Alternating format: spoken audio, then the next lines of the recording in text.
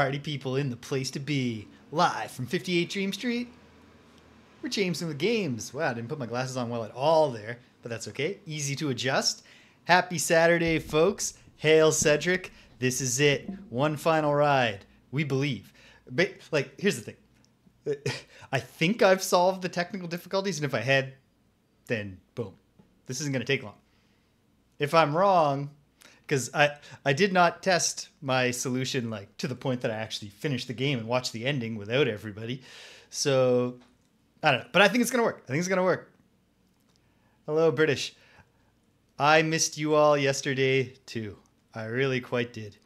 Uh, yeah, it was just uh, our our errands ran late, which isn't that big a deal in its own. You know, I'll just push the stream a little, but the the last errand was that we we, we swung by the vet to, to bring Astra home. So I needed I needed a bigger buffer between that errand and like coming live. So here we are, but I'm feeling okay today. You know, one day at a time. And it's a it's a rainy day, Astra's favorite kind of day. So I'm trying to enjoy that for her. Breathe in some of that rainy air. And yeah, here we are. Goody Goody James, one last ride. I mean, also Goody Goody James will show up in pretty much every other game I play. But the next time we play Quest for Glory uh, in the medium future, it will not be Goody Goody James. It'll be the anti-hero run, which I'm I've been hard at work for like a month now, thinking of all the things that happen in this game. Uh, and and trying to imagine how I'm going to role play uh, as some callow jerk uh, through all of those things. So I'm excited for that. That will be fun. I played like when I played tabletop games with my friends. I pretty much exclusively play weird jerks. Every now and then, I, will do like a a, uh, a pure you know, baby face hero, but typically I'm like some kind of weird jerk, uh, or uh, once not a jerk, but once I uh, convinced a DM to let me play two Tabaxi characters. So the Tabaxi are like cat people, and so I made Avra and Astra, and not uh, their names uh, were uh, Twilight, Thunderclap, and Tempest at Dawn. Twilight being Abra and Tempest being Astra, and so they were very lovely characters who were very friendly to everybody.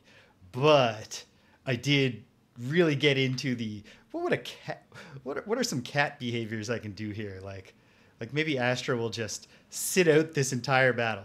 She's just everyone else charged into the cave and she just sat down and just like my turns kept coming and I was like yeah uh, you know Tempest is just like you know licking her paw and, and cleaning her hair stuff like that. So I'm excited to try to bring that to the table. Uh, video game wise, though, I never play. I, I can't do it. I'm bad at it uh, committing to being a jerk. So I'm getting some practice in Elden Ring now, actually, because I had to pick up Elden Ring for the first time since it was out. Since my original playthrough, I picked it up so that I could do the DLC.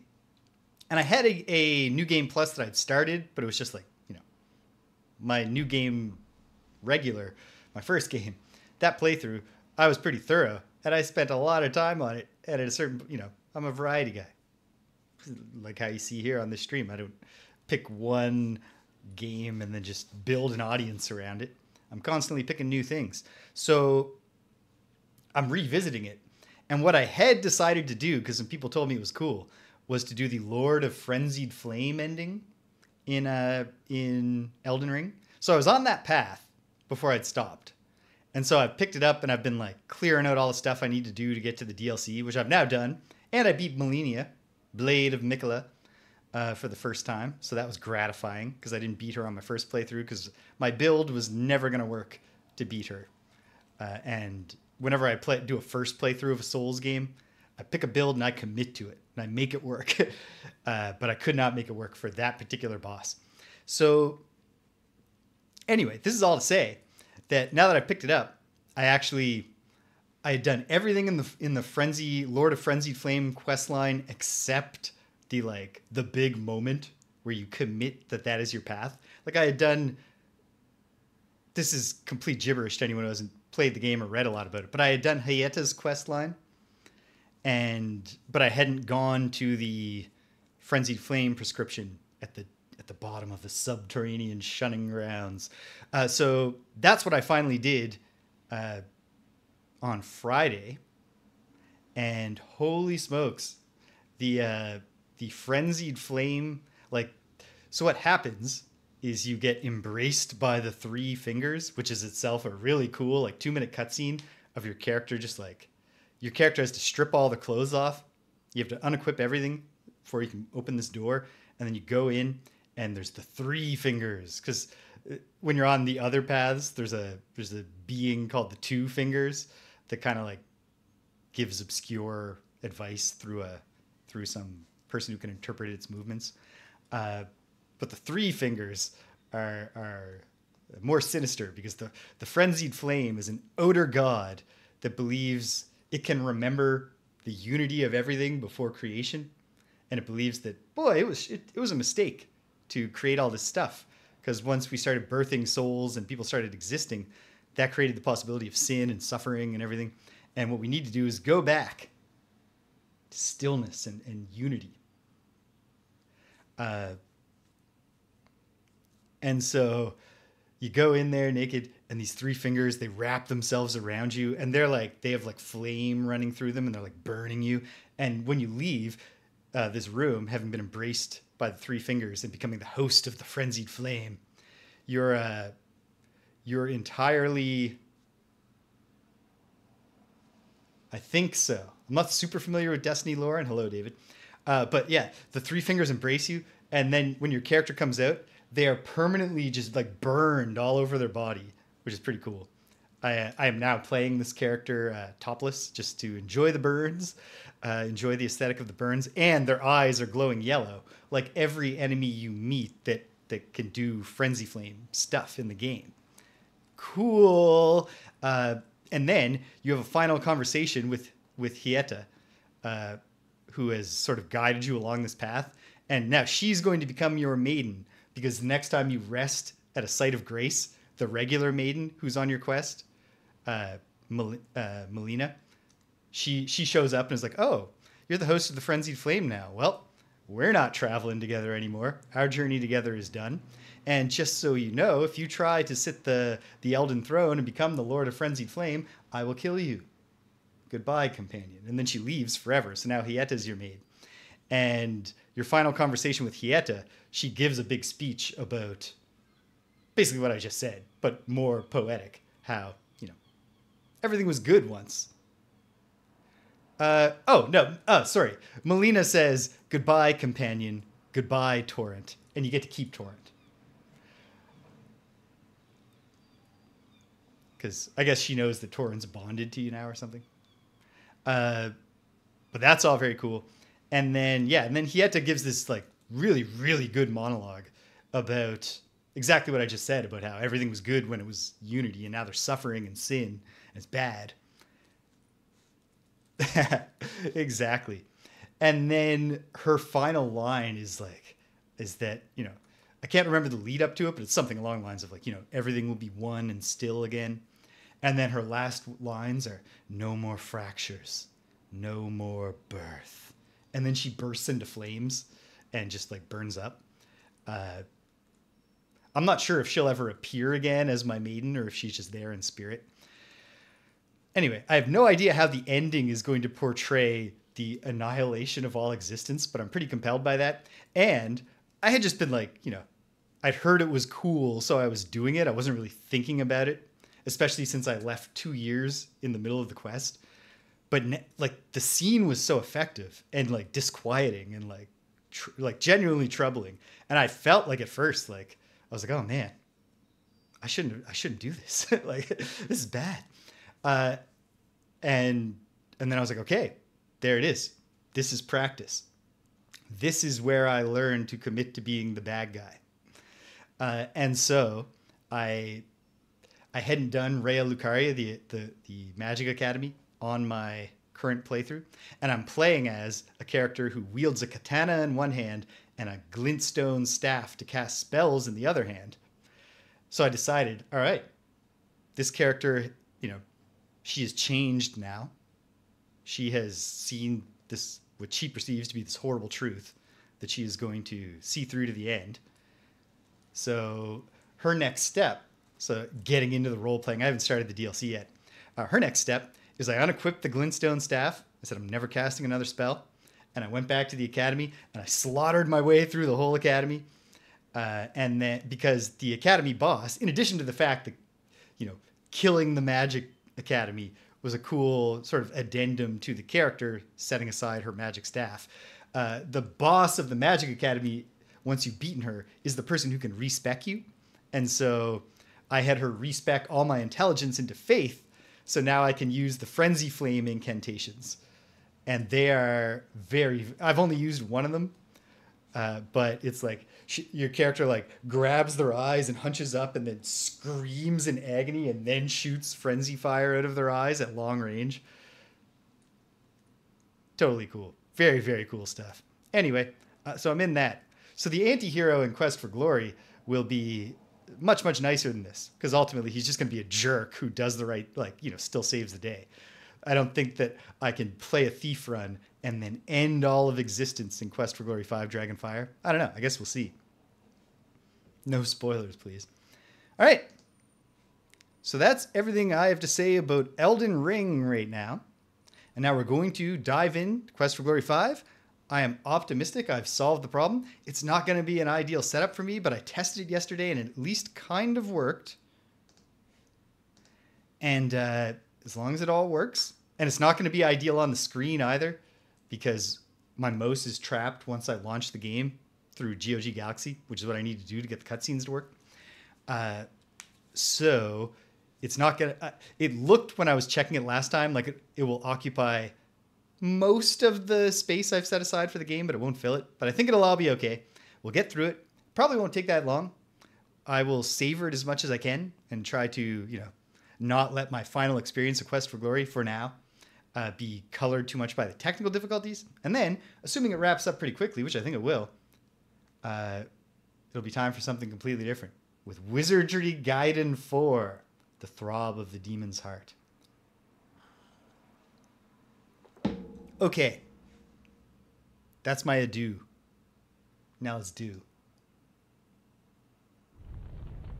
Okay. So close and yet so far. One moment. I quit the game because I had drug the I, I had the quest for I had the GOG Galaxy launcher over the screen that I need to watch to play the game. But now if I've moved it to the other screen, it should. Why did this work last? Okay, you know what? It's fine. This is gonna be kind of strange.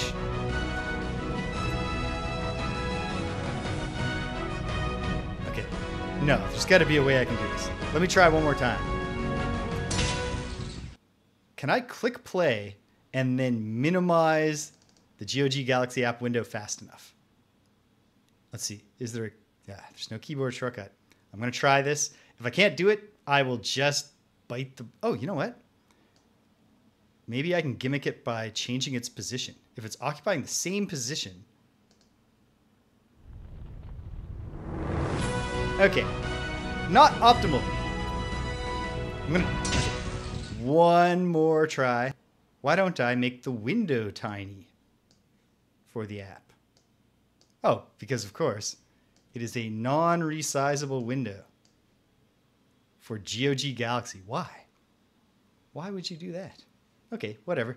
So, it's quite possible I just won't be able to see the chat, which is a real drag, but I got one more idea. Nope, it just really, really wants to cover the chat. So, What are we? Oh, you know what? No, I can see a version of the chat. Although I'm, it's gonna be weird. I'm gonna be looking away from the camera while I do this. Apologies for that. Wait. No, I'm not even gonna bother because I can't check the monitor. So I'll just leave where it is. They'll get a weird profile on me, but at least I'm speaking right into the mic. Let's do it.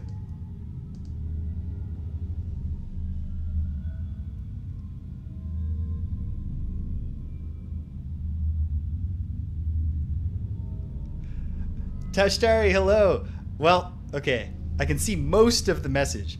So I'm gonna guess. Getting Quest for Glory 5 to work in a window is a huge pain in the ass. You got so frustrated you ended up running it in a and then I don't know what the last word is gonna be. But yes, very like I got it working, but it can't do cutscenes, which ruins my ability to perceive the ending. Virtual machine. I have I'm working on learning virtual machines because I want to play the Japanese uh, PC, the Windows Lolo games. Uh, but I don't have one going yet.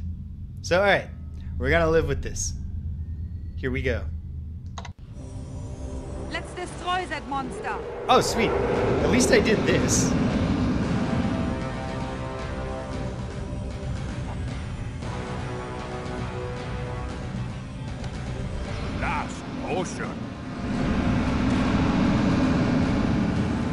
Keep my boys alive here?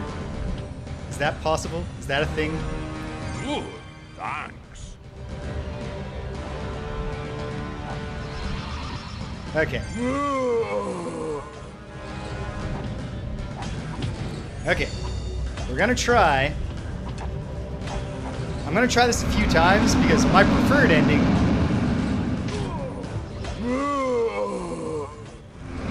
is one where we all live. Nope, I died. It took to the skies. This part frustrates me a lot. Plot wise, it doesn't like.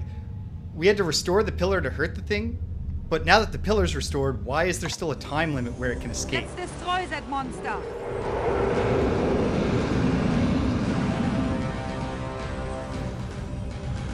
Good. Thanks.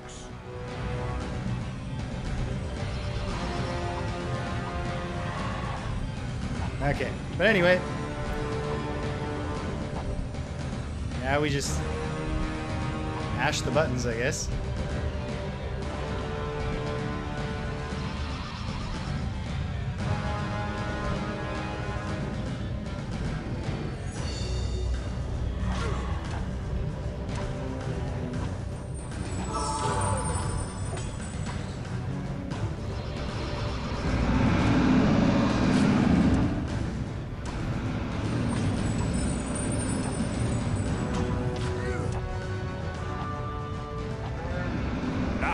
Ocean.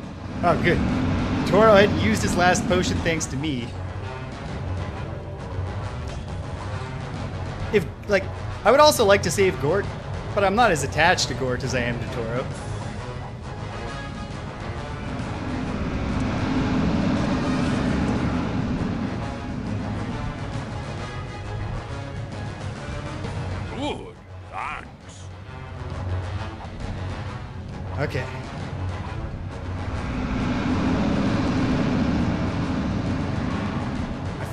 Elsa hopefully has plot armor.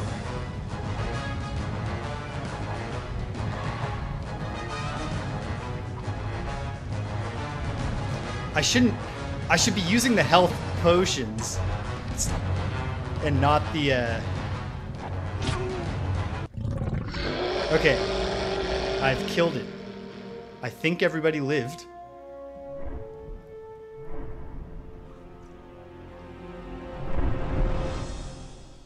Oh my goodness, and I'm just realizing now that my mouse is actually free. Oh! No, that was the dragon deciding to leave. Arg. Well, you know what? At least I can turn my face normally now that I realize that it's not trapping the mouse. oh, weird. Parts of it, it, it is trapping the mouse now. Hmm. Maybe it's just during the cutscenes. Maybe it's actually launching like a mini QuickTime player or something. I don't know. Okay. All right. Okay. Let's destroy that monster. Okay. Yes, I agree, Elsa, but I really ought to be using health potions and not pills to try to help keep Gort alive. And I and and Toro. More importantly, Toro. Oh, don't tell Gort I said that. Okay. Here goes.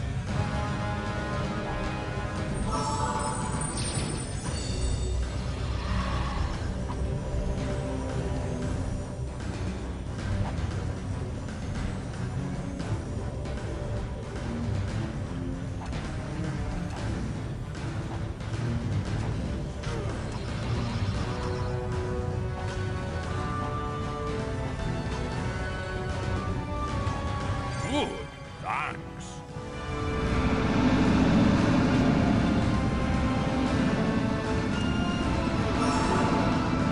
Alright.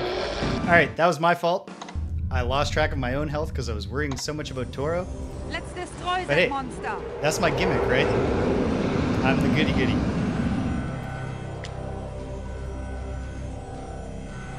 Okay. Okay.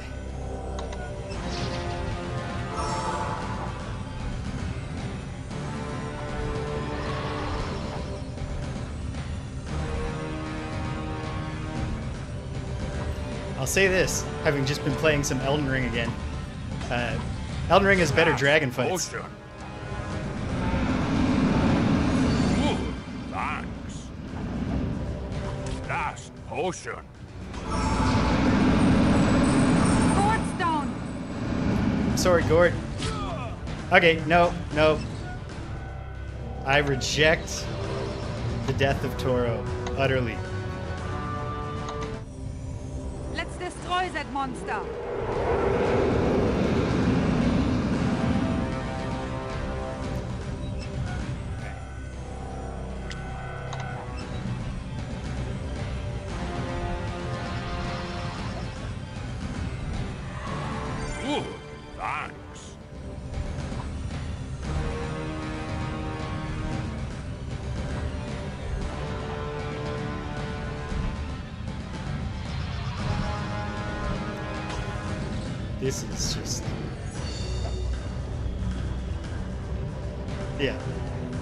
Funny because, like, the tactics here that the dragon is using are pretty similar to what dragons in Elden Ring do. Fights you on the ground for a bit and then it takes advantage.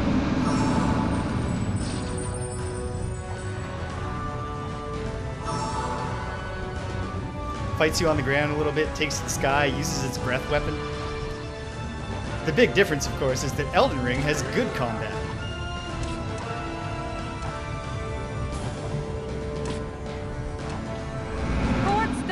Sorry, Gordon. Last potion. No. No, Toro. Ah, rejected. Yeah, the dragon doesn't need to play fair. But, Let's like, that you know. I would like it if the game made it fun for me to try to overcome the dragon.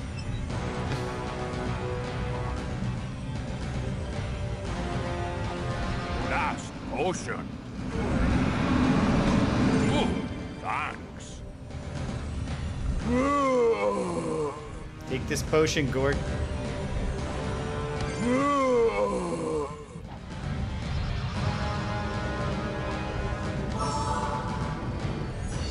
No, Gort's not even gonna take the stupid potion I gave him.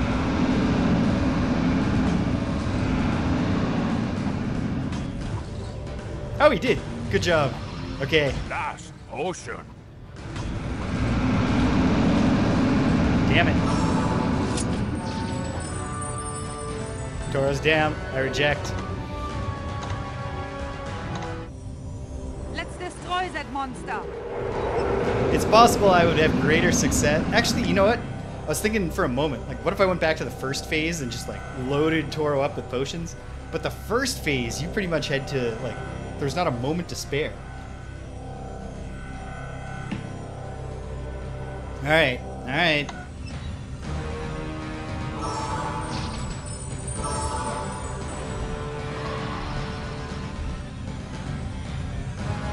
Good, thanks.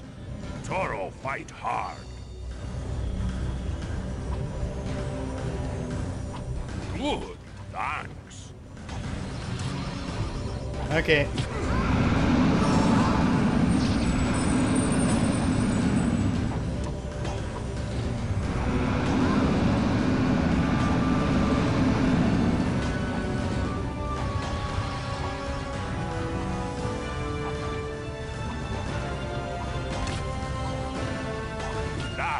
Last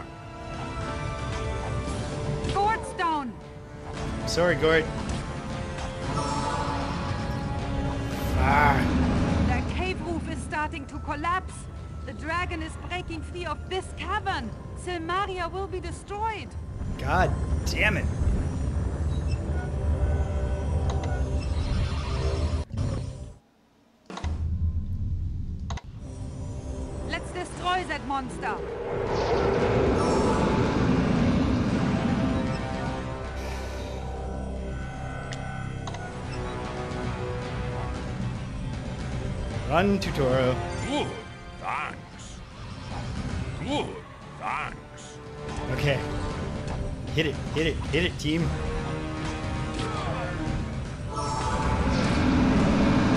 Last potion. No! No, Toro! Hate it, hate it. This is not. I. It's okay. Quest for Glory is a wonderful series, and narratively, this game is a wonderful capstone, and many parts of this game are wonderful. But why was this set piece? Why would you make this Let's the climax to your monster. game?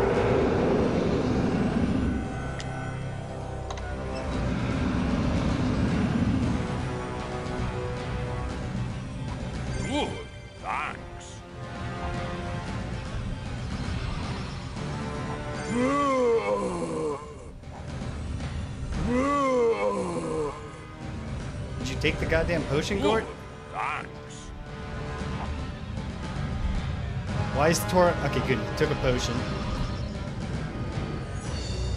Yeah, the dragon's like, dragon's breath should hit hard, but like,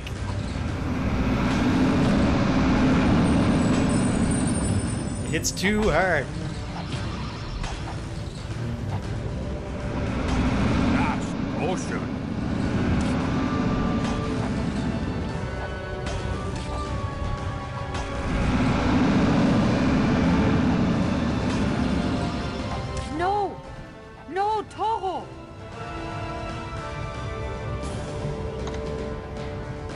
If only the game hadn't stripped me of my magic in the import Let's destroy process. that monster.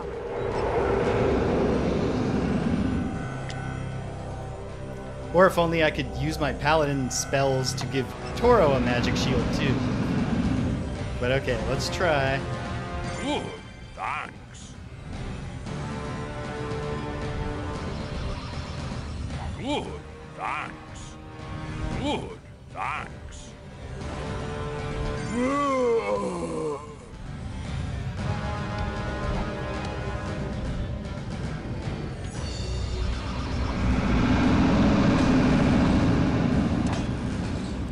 Take your potion, Toro. I'm begging you.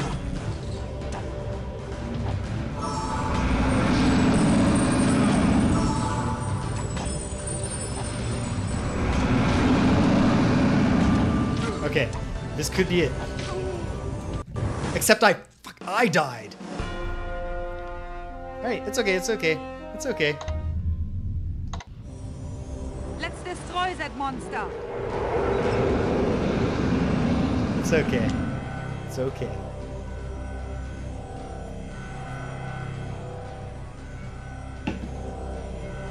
Oh, hi, Abra. You're right. Let me just fail at this battle like seven more times, and then, because there's still five more minutes. At least that game has good controls.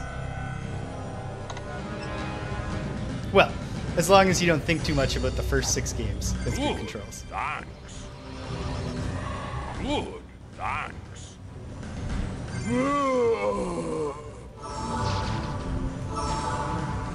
Okay, let's try this. Gotta remember to keep myself alive.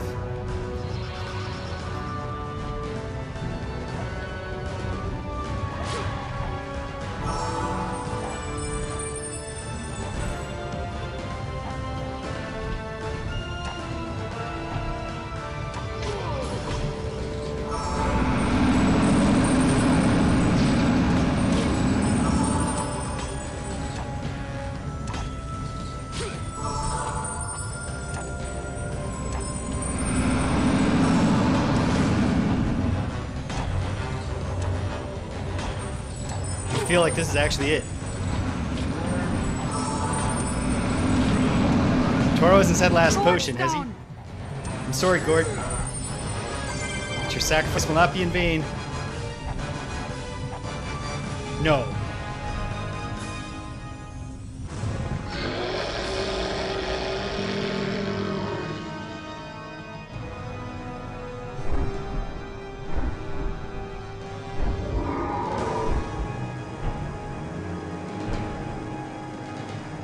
Or is this a, is this the death animation? Yes. Okay.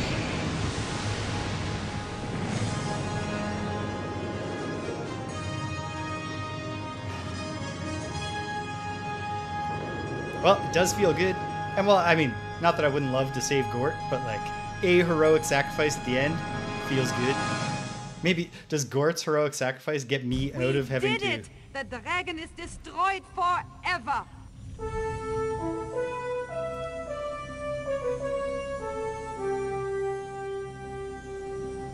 Hallelujah. The rights of rulership are over.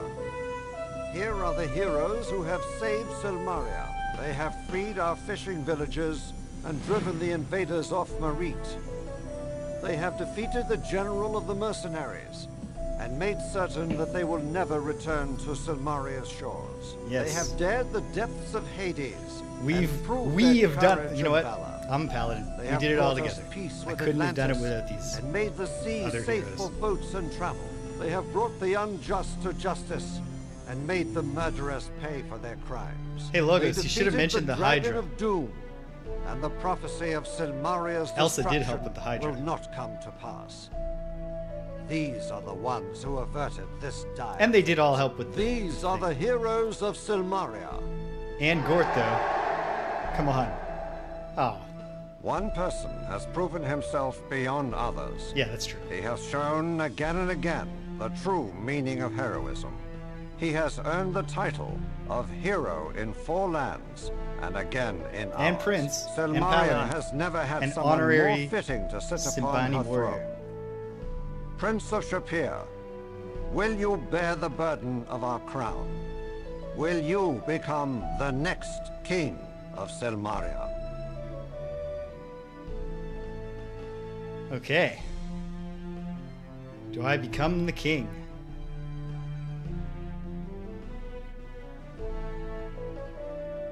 Oh man, this is a heavy. Ro- is this the role-playing choice that the CRPG Addict was talking about? Because it is kind of a heavy choice. Even like, it's not like I'm actually, you know, if I become the king, I can't do the Adventure of Quest for Glory 6 with this character. But that is a thing to think about.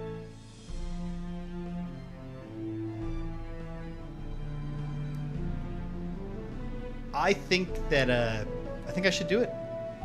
I think I'll do it.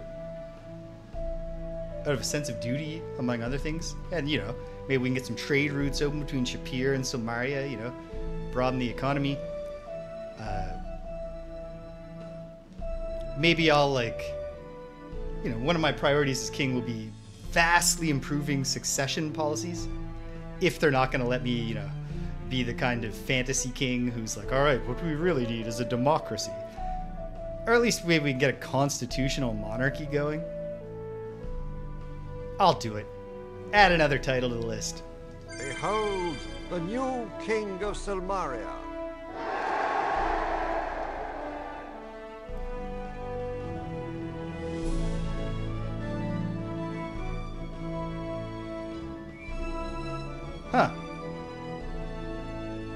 Why is my high score zero?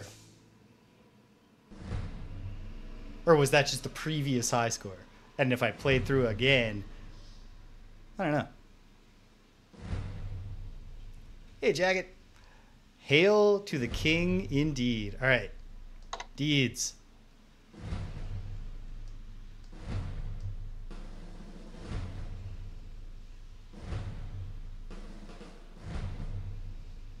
Okay, sure. I did all of the things in the game. Oh, but not everything. What didn't I do? I did not apprehend Arestes. I didn't bathe a ring in paladin blood or in the river Styx. I didn't bring a clue to Erasmus. I didn't dance with the dryads. The Dryads didn't want to do anything with me. I didn't get the deed to the gnome inn. I didn't free four of the villages because I wasn't assigned to. Give the Lethe water to Selim, marry Elsa, marry Erana.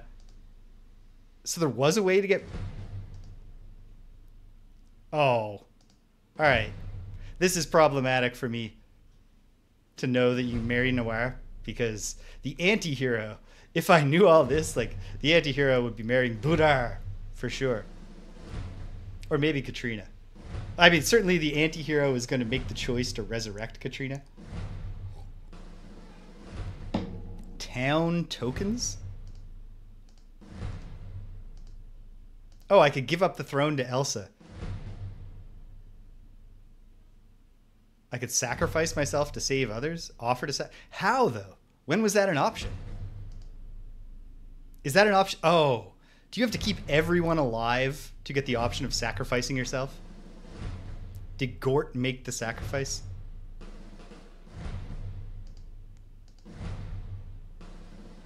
Didn't do the basket. I didn't tell Julanar about Andre or another thing.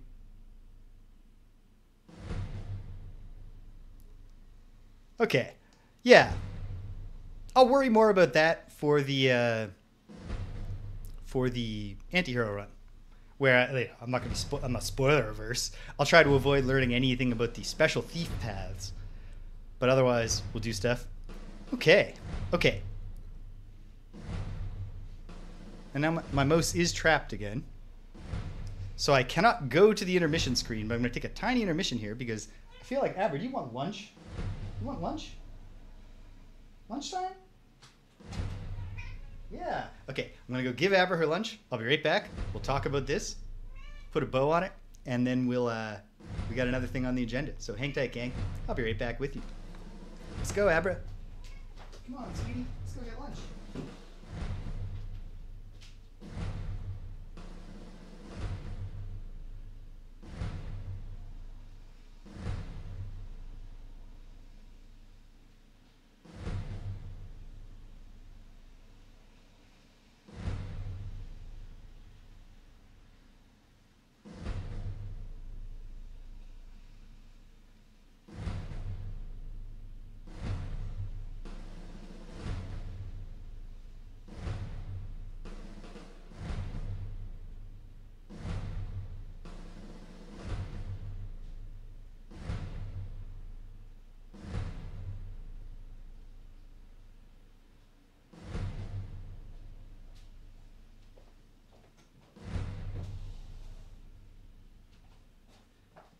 And we're back. Okay, so um, you know what just occurred to me?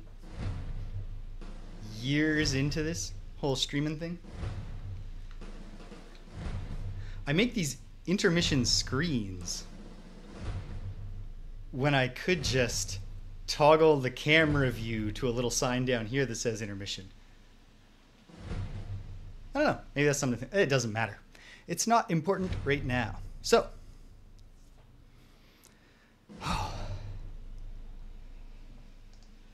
I am, you know, it of the things I see here, the ones I'm the most, uh, the ones I would have like. Obviously, I was trying for a moment to achieve. Gort lives through the battle, which I think is what would give me the uh, sacrifice options.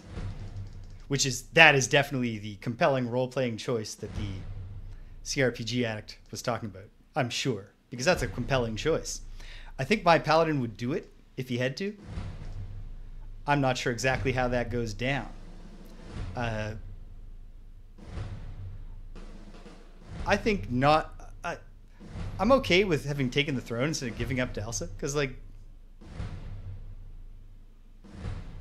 I think Elsa will be okay. Like, at one point, I guess Stefan is going to become the the next uh, Baron of of Spielburg. But like, that's a bad idea. They should put Elsa and not uh, Elsa should be the Baroness, and not her brother. But uh, otherwise, I think of these, well, I mean, the basket thing is going to weigh on me. But um, more than anything, I do wish that I had been able to pull this off because I think that would be a cool like total totality of the ending of the the paladin like saves the day and then decides to take the throne but then and then as his queen he has a resurrected fey demigoddess. Uh, that seems like a very cool like fairy tale hero ending. But nonetheless mostly very happy about this and how this all went down. And like i do like it. Like i wish gort w- gort could have been developed more obviously uh, even just a tiny bit. But i do like the idea that after all gort was the sacrifice that stopped that stopped the dragon. Because like he was created just to be a hero. But he was created by two jackasses who had no real sense of like how to be a hero. And then he was a hero in the end of his own volition. So that's great. So yeah. On the whole i'm happy with this as a capper uh, to the quest for glory saga. I think that was a good ending for my character. Yeah like actually you know what? I said they could have developed gort a bit more. Absolutely unnecessary. We literally just need to know oh he's basically like a he's he's frankenstein's creature except he's basically a golem. Yeah i uh i mean had the ending played last time i would have accepted it but once i took a whole week i was just like i was just like I got to keep Toro alive. I hope. I was hoping. I, I, thought I'd be able to administer the potions. It's even better that you just give them to him and raise his stock up. Uh, I'm in here, Abra, and you know where Danielle is. And uh, yeah, yeah. I will say, uh, okay. What disappointed me about this finale? Not that many things. Ooh. Yes. Please, Cedric, I would love to hear some more about it. I don't mind knowing as much. I want, like I said, I want to try to keep the thief stuff, ex- at least experience that fresh.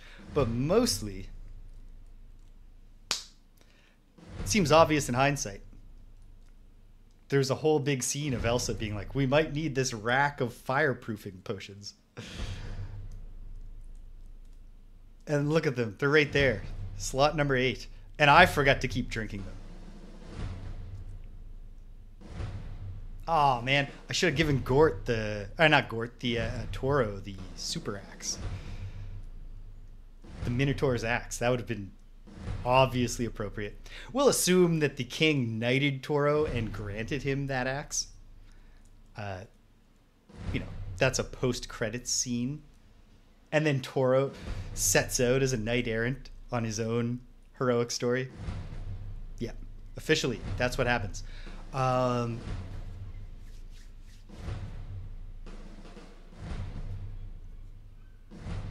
that also makes a lot of sense.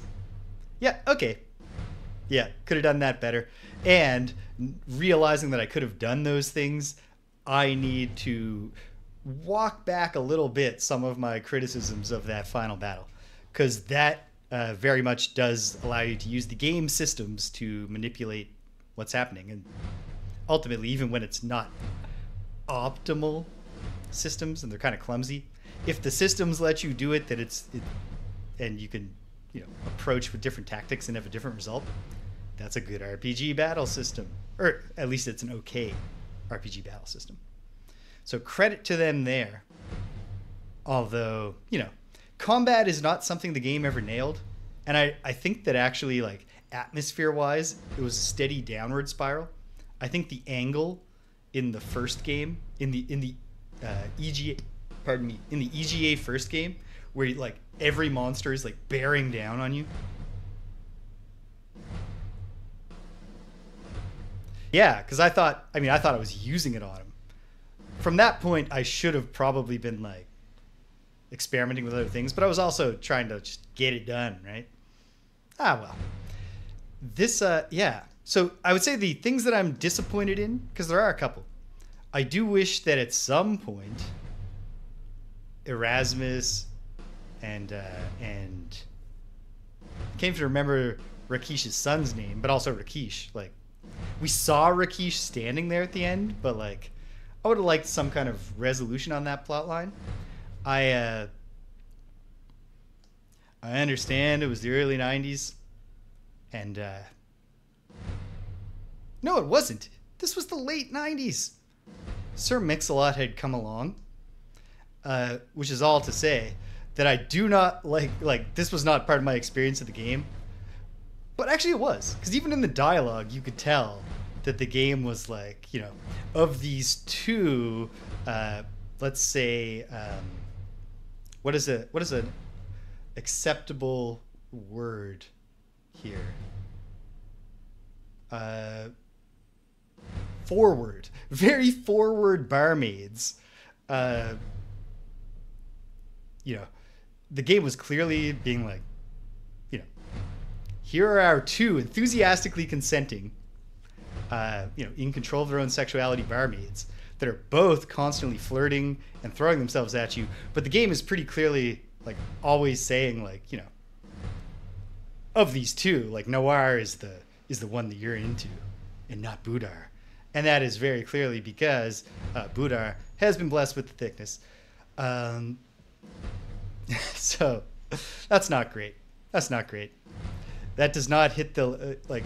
Remember in Ultima Six, when you there there's a is her name Andrea, the fat barmaid in uh in you, and then she's into the blacksmith who's from a distant land and he's like a sumo wrestler kind of build type guy and it's setting you up to think the joke is going to be the really kind of standard like haha even this fat guy doesn't want to be with a fat girl but actually when you when you mention hey the, the barmaid's into you he's like ah, too skinny for me man. That's a fun little gag i guess. Uh, not saying it's super progressive but it's like it's a step above just being like hey check it out. Here's two barmaids that are coming onto you. But we understand that only the stick thin one is a is an actual romance option. I don't know. Not great. Not great. But it is what it is. Uh, yeah. And then yeah like again i would have liked it if, like is there a way that is there a path via which punny bones shows up and does a set at no man's inn? Because i would have liked to see that. Uh, but generally speaking i thought that this capper story did a great job of pulling in threads from the whole saga. And it's interesting how like they're all very standalone adventures. The hero comes to a new land.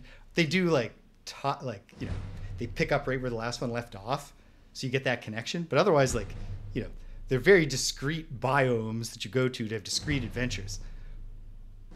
But they really do generate this kind of saga. And a thing that i've been praising about this series since the very first one is that they uh, they really nailed the idea the uh, feeling of playing a role which is not really always something that RPGs, at least that, that computer RPGs or console RPGs, are focused on. If I, I, I cite the CRPG Addict a lot, but if you read his definition, like the standards that a game needs to meet for him to count it as an RPG, as a CRPG that he reviews, uh, his standards do not uh, include the game has to give like role playing choices because ultimately if you did that you would have to throw out like enormous numbers of games that are obviously crpgs uh,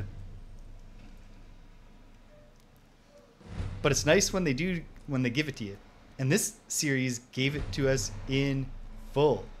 Uh, their i assume to the extent that they were taking influence in how they did their stat development it had more to do with looking at Dungeon Master. I mean, it couldn't have had anything to do with looking at the Saga games or Final Fantasy II on the Famicom. But it's a great use of the use it to gain it system of stats because, again, it really gives you the feeling of, hey, I'm like, I am this dude. And like, I'm what I choose to get better at, I will get better at if I put in the work. And your choices feel like they matter, even when they really kind of don't, in the sense that like every game is going to come to the general ending of you save the day. Uh, the multiple paths are great. The adventure game aspect of it also great because from the start to the end, with a, like a few exceptions actually, right here in Quest for Glory Five, like the items that you must get on the Hydra Island when you're there. Uh, one of which is rope, an object you should just be able to buy in the market. Uh, but otherwise, for the first four games and and for the bulk of the seventh, fifth game, uh, this is a series where the adventure game puzzles are more likely to resolve to the kind of thing you should do to fix that problem, as opposed to relying on moon logic, uh, or even fairy tale logic in many cases. It's just it's just you figure out what makes sense and you do it. And sometimes that tripped me up because I was try- I was, you know, like like with the the broken lever. Once I finally calmed down about like what am I gonna do with this? Le-? It's like oh yeah, break it off.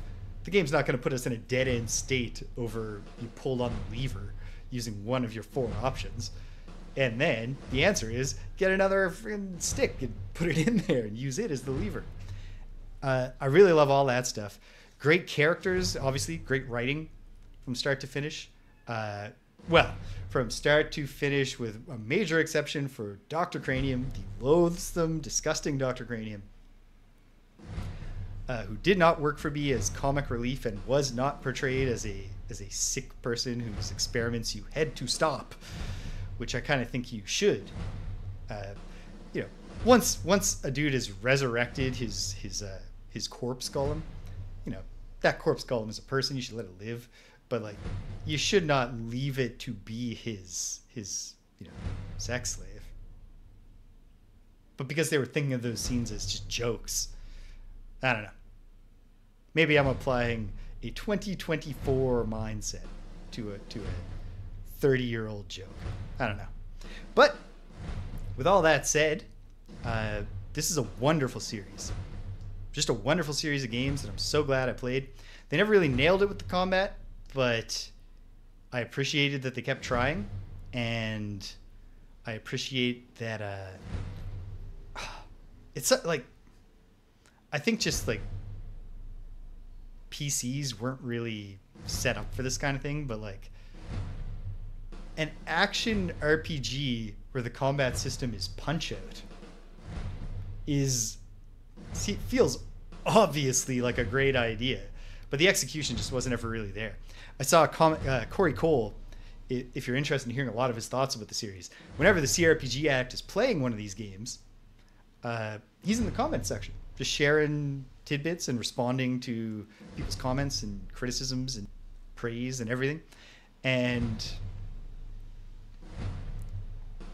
ooh, that's another thing. Got to do Hero U. That's been just sitting on my Switch for like a year now. Haven't touched it, but I will soon. Um, yeah, wow. But yeah, yeah. And so Corey Cole has actually said,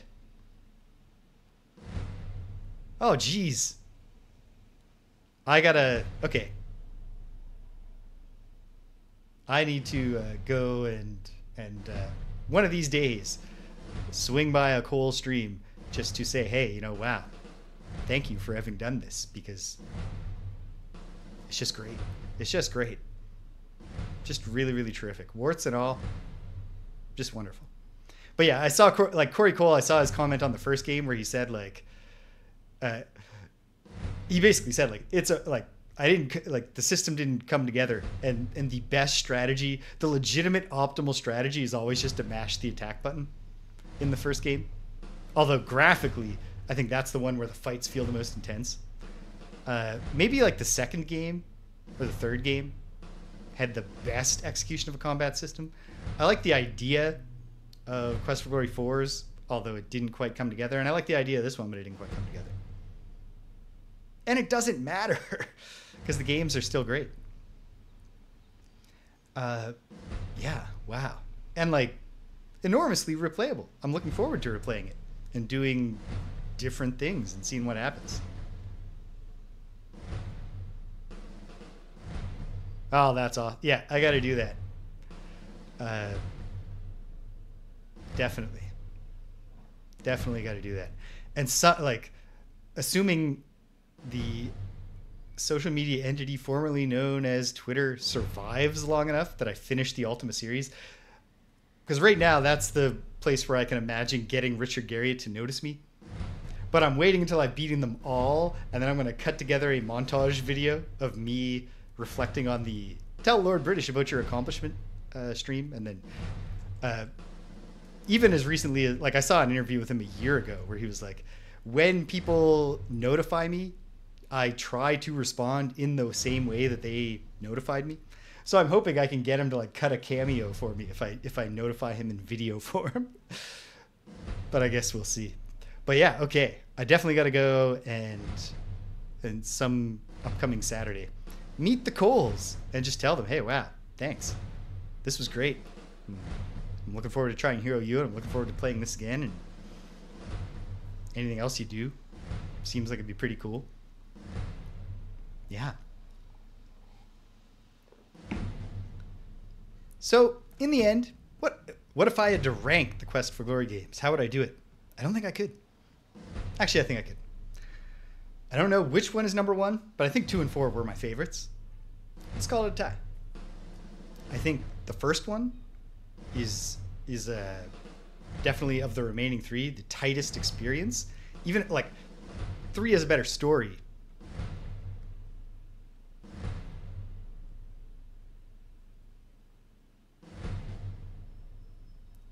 Oh man, if I could get an interview, if, if I could get Richard Garriott to talk to me for an hour, I would waste the entire time trying to convince him that all of his ideas about using new technology are wrong and he should actually be making Ultima 5 Part 2. Maybe I could sell him like you could use generative AI somehow to in, like broaden the keyword conversation system. Uh, yeah. But okay, wow. Quest for Glory. What a series. Uh, obviously, in most of the games, I struggled with the sequencing. The things that hung me up the longest were just not realizing that I had to do X thing in order to cause unrelated Y thing to finally occur. Uh, but when you consider the the the astonishing challenge of what they're doing, of trying to make these sort of immersive game where the worlds you're in feel like you're a participant in a story that's happening instead of just playing through a game story. Uh, it's kind of remarkable how few problems I had overall getting it to work. And I really am looking forward to doing the anti-hero run because although I may not know every like maybe every hurdle that I had to overcome won't be the same for the thief, I can probably avoid some of those like multi-week like what's what why isn't anything happening uh, scenarios? And we can get a more like cohesive like just quick run through the story. I think that'll be awesome. Oh man. But yeah okay so two and four the best. One uh, also just excellent and like such a tight experience. And it's definitely the one where the rpg mechanics even if the battle system is as corey cole has acknowledged broken. Uh, the RPG mechanics work the best in that one because the best RPG experience is starting as some scrub and becoming someone impressive, which you can only do once in a series where you're carrying a person through. Uh, I think three is a great story, and I think I put it before five, and yet five is still a thumbs up game for me. So it's my least favorite and also an excellent game that I'm glad I played and that I look forward to playing again. Awesome. So let's talk about the near future, the near to medium future here. I uh, all of my dreams of using May and June to start to ramp up to vacation streamer mode with my increased free time uh, were shattered on the on the on the rocks of uh, of everything that has happened in the last two months. Uh, a mix of being unexpectedly busy with work stuff in May, and then uh, you know some bad things that have happened recently to the family. Uh, my poor kitty, and my invalid upstairs with her with her busted up knee, uh, which uh, we got out. We ran errands yesterday, so she's on the mend, and she's ordered a brace, and we're gonna we're gonna get her back up and running. But like I thought by now we would have debuted. Danielle and I are gonna do an intermittent stream called "Hey Babe, Can We Play This Game?" I thought we'd have started that by now, but we're gonna start it soon.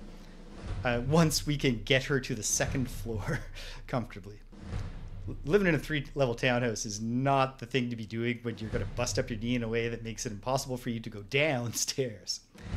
Uh, and then, yeah, so otherwise, though, vacation is coming. I'm to work next week, but because there's stuff I need to get off my plate before I go on vacation. And then vacation will start. Uh, so next Saturday is my first day of vacation. Obviously, the Saturday game is Dark Sun Shattered Lands and will remain so until I finish that. But otherwise, after today, I debut right after we wrap up here Wizardry Gaiden 4, The Throb of the Demon's Heart, which uh, isn't a perfect pairing with Quest for Glory 5. So, you know, Tashtari, if you're not sticking around for that, I'm not offended. but uh, it's I've been looking forward to it, and it's a little self-indulgent, I think, as a streaming thing on a channel where I'm mostly playing more uh, narrative-driven RPGs and adventure games on the weekends. But I'm all, uh, it's not going to be the Sunday game. It's gonna I'm gonna do it here and there over vacation, but I'm gonna start it right now. Uh, we're gonna start Ultima Seven Part Two Serpent Isle very soon, and my goal is gonna be to get as much of that done on my vacation as I can because it sounds like it's very long. Uh, then, next weekend on Sunday, I'm thinking uh, PJ's been banging the drum for Phantasmagoria. I think I'll give it a shot. And then, the other big thing I want to do is get my 30 minute retro reviews going, which is going to be, it's to, for at least for now, to be confined to the classic games available through Switch Online for the Nintendo Entertainment System, Super Nintendo Entertainment System, Nintendo 64, Nintendo Game Boy, Nintendo Game Boy Advance, and Sega Genesis. It's a good service. Uh, a lot of variety there. Uh, and what I'm going to do is through some mix of choosing what I want to do, but also making a channel points reward where someone can be like, hey, do this one next. And uh, maybe having a randomizer when I'm in the mood. Uh, the goal is going to be to spend 30 minutes with the various games on this service and try. Uh, a lot of what I do on this channel winds up being about me discovering things that that the audience is familiar with. Gonna try to, and you know, the audience may be familiar with many of these games, but in concept, what I want to do with the retro reviews is use my vast knowledge of video games and my ability to kind of find my feet in a game I'm not familiar with pretty quickly to try to capture what are, what are all these classic games about in 30 minutes. And then uh, that'll give me two things. One is the ability to do like a three hour stream but then have six videos to release on youtube and boost my algorithmic discovery. Uh, but then also uh, i'm hopeful that maybe it'll be useful to some people they'll find out about a game they didn't know maybe some people you know they've got switch online so they can play splatoon 3 I don't know why they would ever turn up to be watching my retro game stream, but I like the idea of people, you know, it's not a budgetary choice. It's not a consumer guide in that sense. But there's only so much time. So maybe I can help people figure out, you know, if I'm going to devote some time to some classic games. I got Switch Online. Which one? Which one should I do? Or maybe it'll just be fun. Whatever it is, I hope to get that going soon. I got to make stream overlays for it. But then I'll fire that up. That'll be fun. Uh, moving into the medium future, I think I'll do Hero U before the anti-hero run, but I'm not positive because I'm pretty excited for the anti-hero run. Uh, then I will. What else is on the agenda? Um, I've got a lot of fantasy going right now, and as I get through it, we're gonna head into a sci-fi fall for adventure games. I'm gonna start up the Space Quest series. pretty cool. Uh, I've only ever played Space Quest 1 and only a little bit of it. I know that in some senses, it's very reminiscent of the early King's Quest games. It's text parser adventure in the Sierra uh, AGI engine. But I also know there's some major differences. For one thing, it's a very comedic series. Uh, for another thing, it's uh, the first game at least is very like instead of the openness of King's Quest One, it's a bunch of shorter, more confined areas. Like the part of the game I remember is you start on a ship that's been taken over by aliens, and that's only like X number of screens until the ship crashes, and then you're on the planet, and that's all I remember. But I'm pretty sure it goes like that from there. Like you're on the surface of the planet, now you're in some alien palace or an underground something, or I don't know. But I'm really looking forward to that. Get another flavor of the classic Sierra adventure game uh, going. I don't know that it's possible to fit all this in, but uh, I've been telling Waffle Syrup for two years that I'll play Disco Elysium, so I'd like to do that. Uh, and then also, if you've, you prob- if you're a fan of classic PC games, you've probably heard the big news that after many many years of just working, uh, just Fred and Paul uh, of Toys for Bob fame, working with uh, Jason or Pebby, who I really gotta, I gotta send Pebby a congratulations message because he's just been toiling for years as the lead coder on Ur-Quan Masters 2 or or real Star Control 3. Um, they've kickstarted it. They've been funded. They're looking to release next year. So I got to do Star Control 3 and maybe Starflight 2 before that day comes. So that'll be exciting. And along the way, Greg and James will be beating them up, and Greg, James, Rich, maybe Dan, uh, Danielle now and then. Maybe I can get Lauren back. I, I keep saying that like it's ever to happen, but I, I will never give up hope.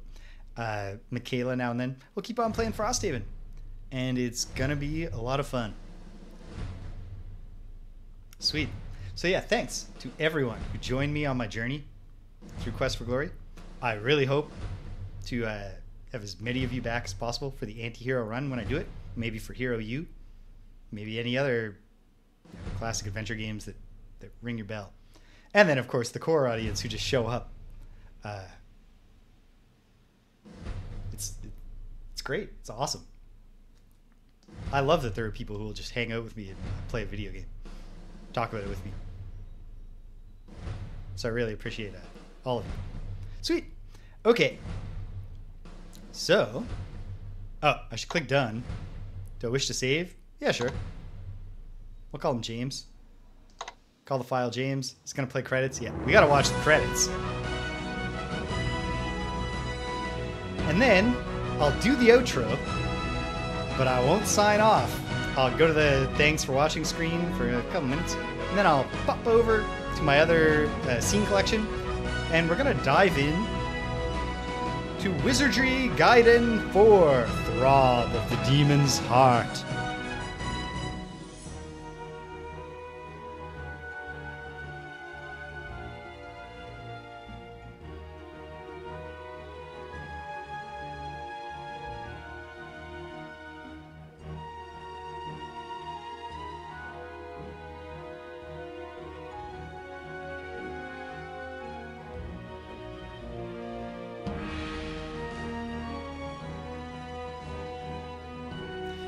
Wild to go back and compare the length of this credit sequence with the credit sequence of like Quest for Glory 1. That in itself tells a whole story about the uh, video game industry. It draws a line that uh, just kept going up to this day, to the point where you know games uh, games can s- like a AAA game can sell five million copies and, and like and then like a bunch of executives have to throw themselves off a building. it's a failure.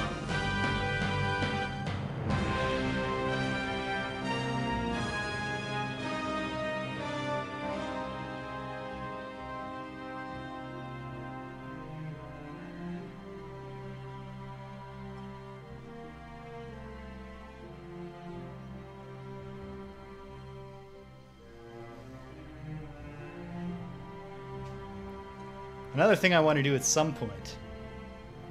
Like I'm gonna check out not all of Roberta Williams' other games, because like this this time machine or time travel or whatever it's called game of hers sounds like a real slog. And I've already read all of uh, Jason. Ah, I can't think of the fella's last name. Jason something, uh, who writes a blog called Renga in Blue, and that blog uh, has a, a CRPG addict like theme. It's the All the Adventures project. He's trying to play every adventure game. So he's still in like 1982, just playing text games. Like he's barely seen like he's seen static graphics and a few animations, but he has not moved a character around the arrow keys yet. Uh, but he did Time Quest or Time Machine or whatever it's called. I've read all that. That's all I feel like I need to get. But like Phantasmagoria, obviously, especially by PJ's request, I'd like to do sometime soon. Uh, that's one. The uh, Laura Bow games. Probably won't do mixed up Mother Goose unless like I get one of my nephews or my niece or some kid I know wants to participate. Uh, but then, if I can either uh, justify to myself purchasing a VR headset or persuade my dear friend Lauren, who got one for her birthday, uh, to let me borrow it. Haha, excellent.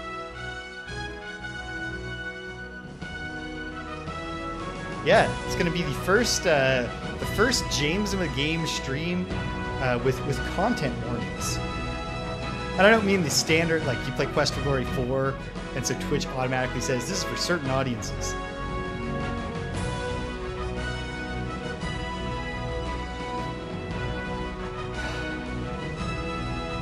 Content warning because it has a scene, famously troubling scene.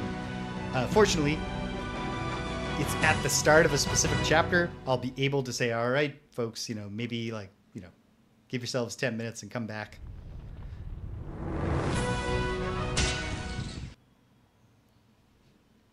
All right. Wow. Quest for Glory? Five. Dragonfire. Anyway, so the VR headset thing is because I would love to do uh, Roberta Williams' return. The Coles came back and did Hero U, kind of picking up, from what I understand, some of the themes of their, some of the ideas of the Quest for Glory games. Uh, Roberta Williams came back uh, by using new technology to go all the way back to the game that inspired her, the Colossal Cave Adventure. And they did a VR version of that, which you can also get in non VR versions, but I like I feel like the experience calls for VR. Uh, I'm not going to become a VR streamer, but I'm I would love to do that at some point. So that's a you know that's a someday thing. My op, uh, my optimistic take here is that I'm not quite 40 years old, and I look younger than that, right? Just to just ignore the the shiny gray, the peppering of my hair, the salting of my peppery hair, and uh, so hopefully we got we got time to play a lot of games together as the as the years go by. All right, I'm to type a new title. Actually, wait, I'll do that during the intermission, where I'm going to go to the thanks for watching screen. But remember, folks, if you want to see what it was like uh, when Wizardry, when an ori- original Wizardry game was made by Japanese developers for the Super Famicom, stick around. We'll be checking that out almost immediately. Uh, yeah, but that's when I'll change the title and the category, just in case there's a lot of uh, people checking the category for Wizardry Gaiden 4, Throb of the Demon's Heart today. All right. So let me do the wrap up spiel. It's a weird week coming at you because, for one thing, uh, on Tuesday night, it's going to be Friday night Frosthaven.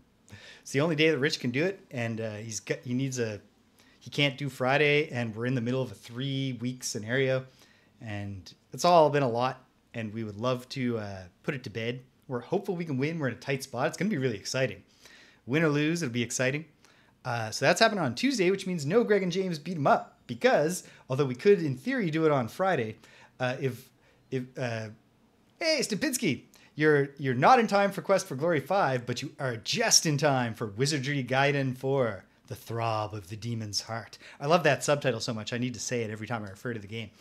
Um, yeah, so Friday Night Frosthaven on Tuesday, followed by uh, no Greg and James beat him up because Greg uh, has to come to my home for Greg and James beat him up, and uh, there are limits to how much of his Friday he wants to commit away from his lover, and that's fair. So he's gonna spend time with her. Keep the heroes out. That sounds like a like I can already imagine the themes of that game, but I haven't actually heard of it. Please tell me about it. Uh, with the caveat that I am going to be going to the thanks for watching screen for a moment, and then uh, coming back. So maybe, cool. Okay, tell me more about it when I come back to the wizardry uh, collection, and I'll just I'll finish my wrap up here. So, yeah, weird week coming. However, uh, I think I finally will actually start squeezing in some unscheduled stuff to get things up and going. Maybe we'll start Ultima 7 Part 2 Serpent Isle. Maybe we'll do more Wizardry 4. I figured we had like a dungeon, dungeon siege or uh, dungeon master, whichever one of those famous games is uh, is about being the bad guy. Cool. I gotta look into that. That sound just just in concept. That sounds like a lot of fun, and I do love a good co-op game.